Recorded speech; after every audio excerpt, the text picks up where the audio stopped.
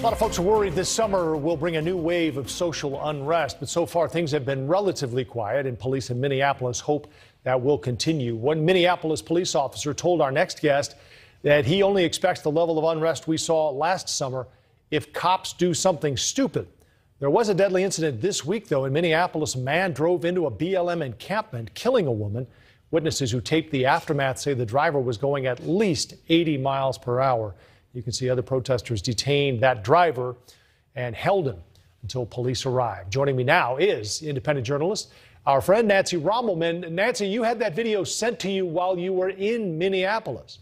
No, I actually wasn't. I was at, but hi, Joe. Nice to be here again. No, I was actually here in New York, but because I was reporting in Minneapolis not long ago, I have a lot of people on the ground that are still still sending me things. So I kind of kept a close ear on the situation.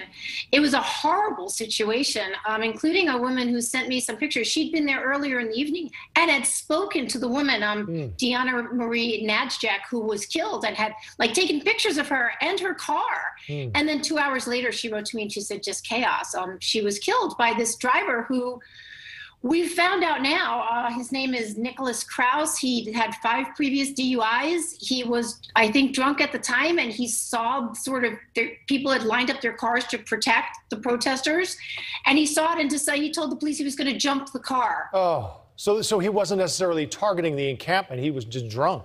Well, I think they were there protesting. You know, they they they were sort of setting it up in the in in light of the the last the most recent killing uh, by police in um in in uh, Minneapolis, mm. um, and they were out there just you know sort of doing what they do. It was it was fairly peaceful.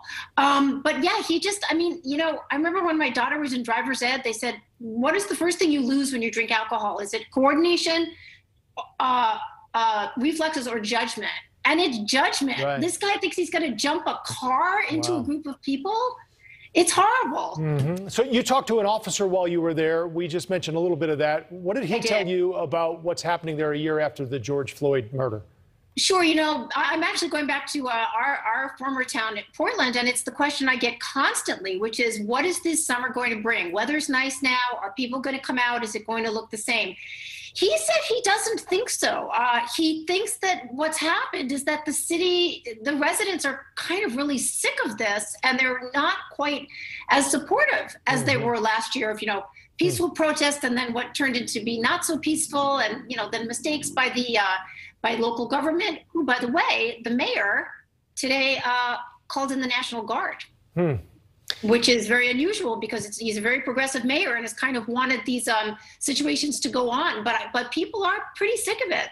The average Joe. Let's talk about uh, Portland, Nancy. You brought it up there. I, I, know that uh, you're heading there, I think, soon, and I was just there recently, and the homeless situation is certainly bad. And the city there, and I know others have also now talked about clearing these camps, and it's underway now in Portland. What happens to these people who get moved out of these camps? You know, uh, your your producer linked me just a crushing article today that was in the Washington Post right. by a really good uh, journalist, Eli Saslow, also a good author, and he really put the human face on this, and the human face too, and the interacting. Like you live in a community, you have a house.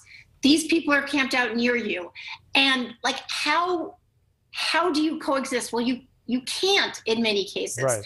So where do they go?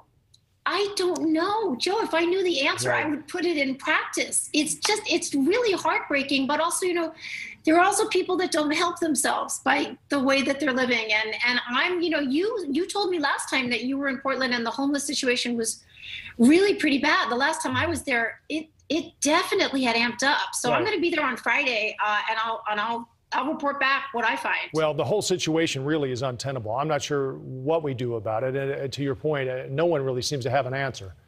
No. All right. Yeah. We're going to get to um, the bite of the night now, and we want to bring you in on this, Nancy. It's uh, sure. we know you like straight talk that cuts through the noise, and comedian yep. Jon Stewart did just that, talking about the origin of COVID-19. Here, There's a know. novel respiratory coronavirus overtaking Wuhan, China. What do we do? Oh, you know who we could ask? The Wuhan Novel Respiratory Coronavirus Lab. The disease is the same name as the lab.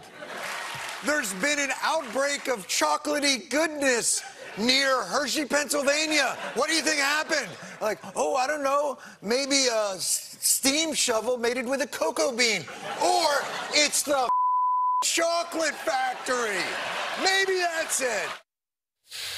You also get a little sight gag with Jon Stewart where he uses the tie to, to dab off there. Do we ever find the uh, the origin of this, Nancy? Do you think? Yeah, I know it. I'm going to let everybody know right now, Joe. I've got the answer. Well, you know, it's very interesting because just like everything else, under Trump, everybody was so divided. So the whole lab leak thing is like, well, no, no, no, he's pushing that narrative, so that can't possibly be true. And uh, I don't know.